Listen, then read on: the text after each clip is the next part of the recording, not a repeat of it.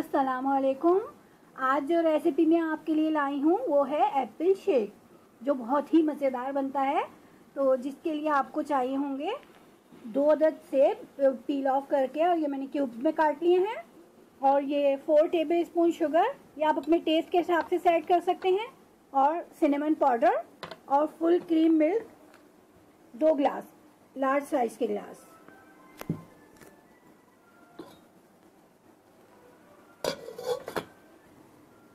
अब हम ब्लेंडर में सबसे पहले ये सेब के क्यूब्स डालेंगे। अब ये दूध डाल रहे हैं हम इसमें। और इसके बाद ये अब हम शुगर डाल रहे हैं, ये। और थोड़ा सा सिनेमन पाउडर इसमें डालेंगे और थोड़ा सा ग्लास के ऊपर भी हम स्प्रिंकल करेंगे, बस। अब हम इसे अच्छी तरह ब्लेंड कर लेंगे।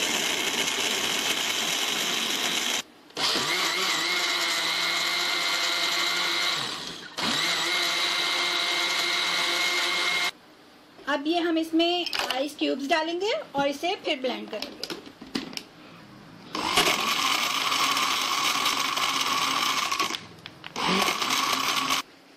ये देखिए, अब हम इसे सर्विंग ग्लासेस में निकाल रहे हैं। बहुत मज़ेदार, बहुत अच्छा बनता है अब सेहत के लिए भी बहुत अच्छा है। अब हम ये थोड़ा सा सिनेमन पाउडर ये हल्का सा स्प्रिंकल कर देंगे अच्छा लगेगा। का टेस्ट भी बहुत अच्छा लगता है, ये देखिए। ये हमारा एप्पल शेक तैयार है और अगर आपको ये मेरी रेसिपी पसंद आए एप्पल शेक मेरा पसंद आए तो मुझे फीडबैक ज़रूर दीजिएगा।